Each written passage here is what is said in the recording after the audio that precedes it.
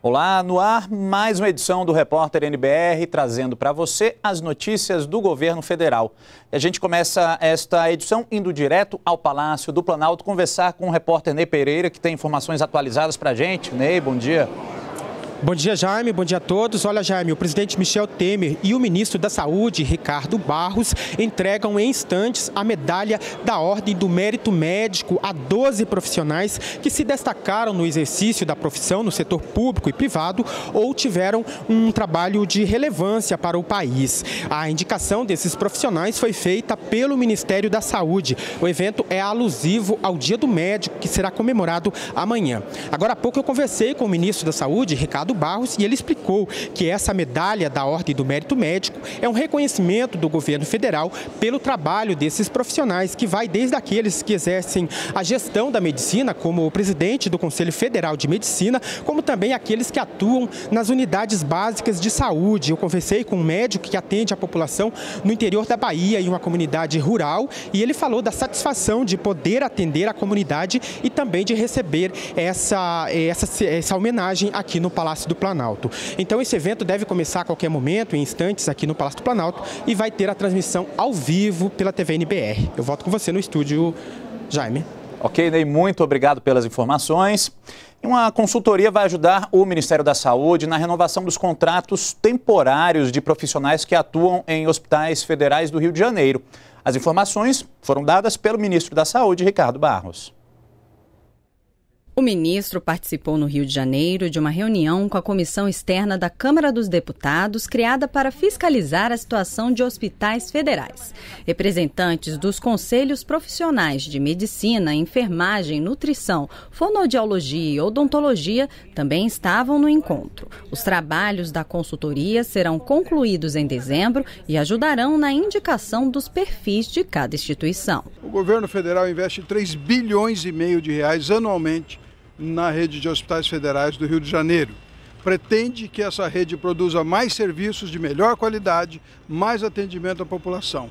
E para isso contratamos uma consultoria especializada do Hospital Sírio-Libanês, que está nos produzindo relatórios que nos permitem tomar decisões gerenciais adequadas no sentido de melhorar a, o atendimento de saúde à população do Rio de Janeiro. A especialização dos hospitais permitirá que nós possamos contratar as pessoas certas para cada hospital. Um levantamento feito pelo governo mostra que as rodovias do país estão melhores do que se imaginava.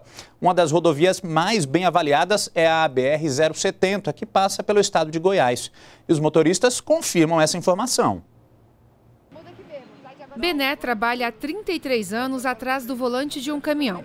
Atualmente faz fretes em Águas Lindas de Goiás, cidade do entorno do Distrito Federal. Todo dia passa pela BR-070 e não tem do que reclamar. 100%. De, de placa, de tudo, toda boa, não tem buraco não. A BR-070 foi uma das rodovias avaliadas pelo DENIT. Ela começa no Distrito Federal, passa pelo Goiás e corta o Mato Grosso, chegando à fronteira do Brasil com a Bolívia. A maior parte dos 1.300 quilômetros da 070 foi bem avaliada. O DENIT avaliou mais de 52 mil quilômetros de rodovias federais. Quase 70% delas estão em bom estado de manutenção.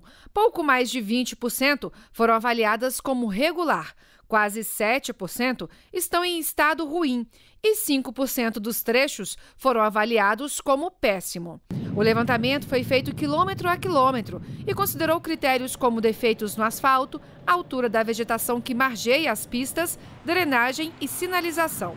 A partir de janeiro de 2018, a pesquisa vai ser feita de três em três meses. A meta é fazer o levantamento todo mês. O ICM ele é um índice que foi idealizado pelo DENIT para a gente conseguir fazer o levantamento da malha rodoviária, é, das condições da malha rodoviária do Brasil como, como um todo, né? E de forma rápida, né, para a gente ter uma frequência de levantamentos é, muito maior, para a gente conseguir verificar se, se aquelas condições estão evoluindo ou evoluindo, para a gente conseguir tomar umas decisões de acordo com, com as ações de manutenção que a gente tem. Seu Alcino sabe bem a importância de transitar por rodovias bem conservadas. Ele dedicou mais da metade da vida às estradas. Agora, já aposentado, faz fretes pela 070, num trecho que o deixa tranquilo para continuar trabalhando. O cara que disser que, a, que essa BR aqui é cheia de buraco é correta dele.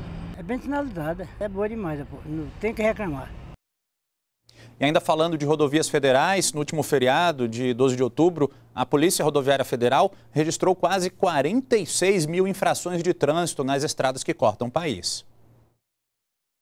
Durante o feriado, a PRF fiscalizou quase 100 mil pessoas e 97 mil veículos. O balanço da Polícia Rodoviária Federal mostra que durante o feriadão foram registrados nas rodovias federais 1.225 acidentes, com mais de 1.200 pessoas feridas e 82 mortes.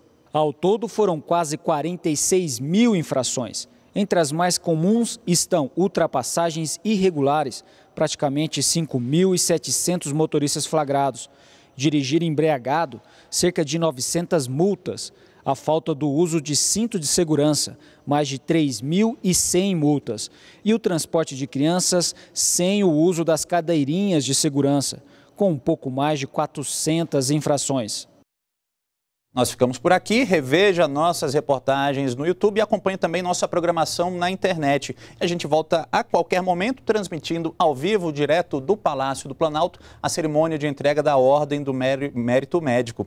Continue com a gente aqui na NBR, a TV do Governo Federal.